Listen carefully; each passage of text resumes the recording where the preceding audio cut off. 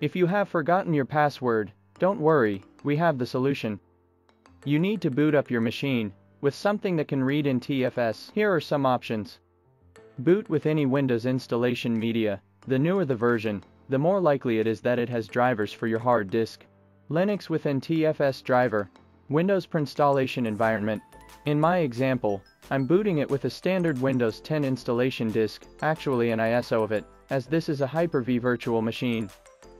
After booting, there are two options I recommend. If your computer doesn't have BitLocker, just hit Shift plus F10 to get to a command prompt. If your computer has BitLocker, start the setup and choose Repair, as it will ask you for the BitLocker recovery key, and then let you head on to a command prompt.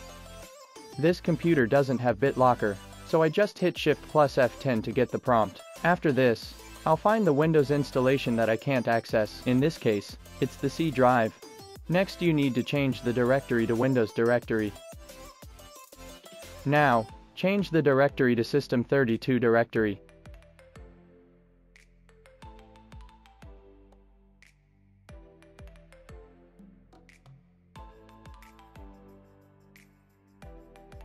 First, run the following command. This command copies the sticky keys as a backup to the parent folder with the copy, space, file name, space, dot notation.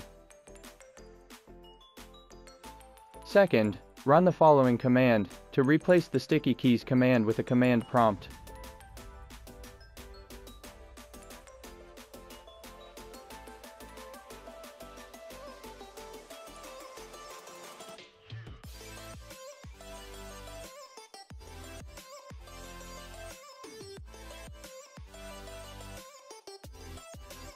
And now restart your computer.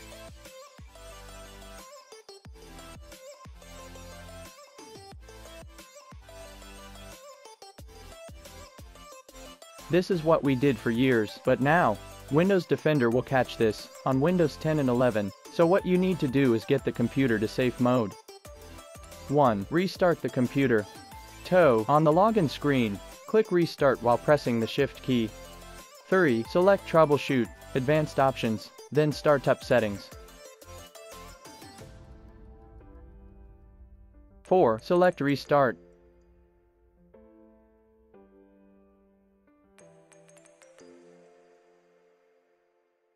5. Choose the fourth option to enable safe mode by pressing 4 or F4.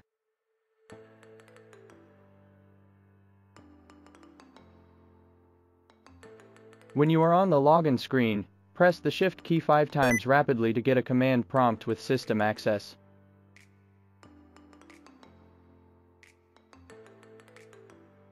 Here, you can reset the user account passwords or create new users. In my example, I have an account called WinUser. This command will change its password to be 12345.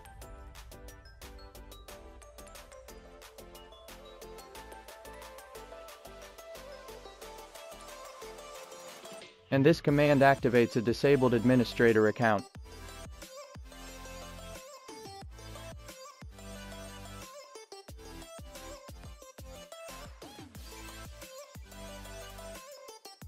This command changes the administrator user's password to 12345. This command creates a new username temp with the password is 12345.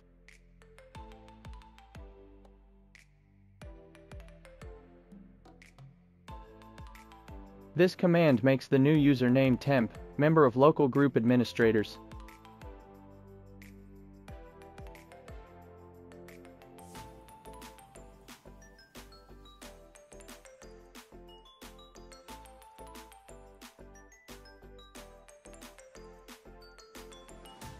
And now, restart your computer.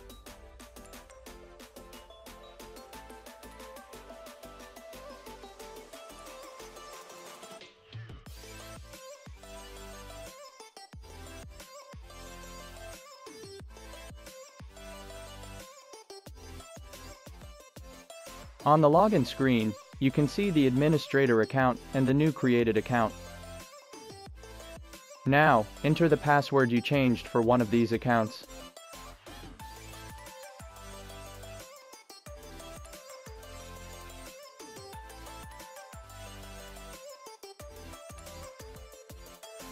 After login, there is still some cleanup to do because the computer is still hacked which you can verify by pressing the shift key again, 5 times, it still starts a command prompt start a new command, prompt from the start menu elevating it with the run as administrator option. From this new command prompt, type the following command. This uses the backup with your restored privilege. A normal copy won't do, as the file is protected by Windows Resource Protection.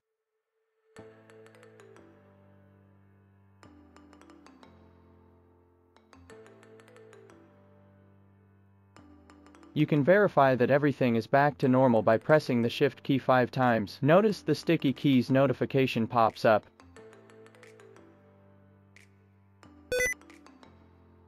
If this video helped you, don't forget to like and subscribe to our YouTube channel.